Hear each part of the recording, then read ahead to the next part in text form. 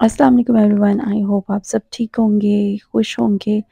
تو آج جو ہے نا وہ میں جا رہی ہوں پکنک پارٹی کرنے۔ ہم ایکچولی میں نے اور میری سسٹر نے سوچا کہ بچوں کو کہیں لے چلتے ہیں۔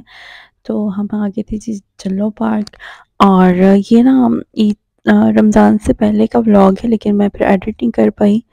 تو میری سسٹر نے جو ہے نا وہ کچھ چیزیں اسے بنانی تھی، کچھ میں نے بنانی تھی اور میں نے سوچا تھا کہ کھلی جگہ پہ جا کے نا بچوں کے ساتھ انجوائے کریں گے۔ کیونکہ بچے جو ہے نا وہ گھر میں کافی تنگ ہو جاتے ہیں تو باہر جو ہے نا وہ کافی انجوائے کرتے ہیں۔ تو میں نے جو ہے وہ اب کباب اور رائتا اور اس طرح کی چیزیں بنانی تھی اور کولڈ ڈرنکس وغیرہ۔ اور میری سسٹر جو ہے وہ بریانی بہت اچھی بناتی ہیں تو میں نے ان سے کہا تھا کہ آپ بریانی لے آنا۔ اور میں نے پلیٹس وغیرہ بھی ڈسپوزیبل ساری جو ہے وہ میں لے آئی تھی تاکہ وہیں پہ کھا کے اور پھر ہم اس کو ڈسپوز کر دیں۔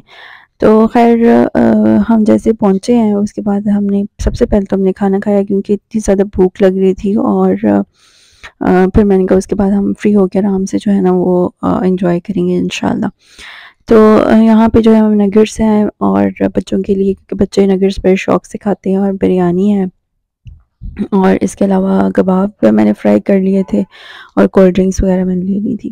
تو یہ دیکھیں بریانی اتنی مزے کی تھی ماشاء اللہ سے بہت اچھی بریانی بناتی میری سسٹر اور پھر ہم نے جو ہے نا جلدی جلدی میں نے سب کو سرو کیا اور پھر جو ہے نا میری سسٹر نے بھی جو ہے وہ میری ہیلپ کی اور اس نے ماشاء اللہ سے اتنا زیادہ اس اس کے لیے کام ہو گیا تھا کیونکہ اس نے بچوں کو بھی تیار کیا۔ اس کے بعد پھر بریانی بھی بنائی۔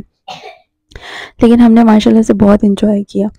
تو یہاں پر جو ہے نا وہ اپنی ولاگ کے لیے کچھ پکچرز بنا رہی ہے بچے جو ہے نا تب تک کھیلنے چلے گئے تھے اور یہ واپس آئے۔ پھر ہم جو ہے نا وہ بچوں کو لے گئے جھولوں پہ۔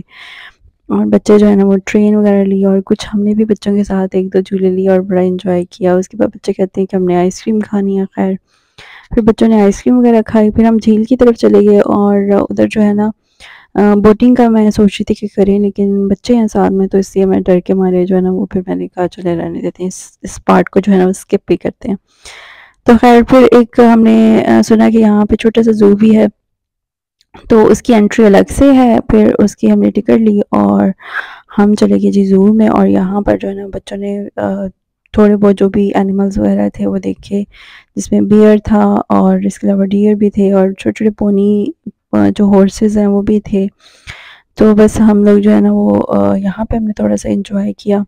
اور اس کے بعد جو ہے نا وہ ہم اپنے بچے جو ہے نا وہ پھر کہتے ہیں ہم نے فٹ بال سے کھیلنا، پھر ان کو بال وغیرہ لے کے دی کہ چلو اس سے جو بھی آپ نے کھیلنا ہے تو آپ کھیل لینا۔ پھر بچے تھوڑا سا کھیلے اور ہم جو ہے نا بس واپس جو ہے نا وہ چلے گئے۔ تو اگر آپ کو میری ویڈیو پسند آئی ہو تو پلیز میری ویڈیو کو لائک کریں، میرے چینل کو سبسکرائب کریں اور میری ویڈیو کو پلیز شیئر بھی کیجیے گا۔ اور تھینک یو سو مچ جو میرے سبسکرائبرز ہیں، جو میری ویڈیوز دیکھتے ہیں اور جو نئے آنے والے لوگ ہیں، ان کا بھی بہت شکریہ۔ Thank you so much take care اللہ حافظ۔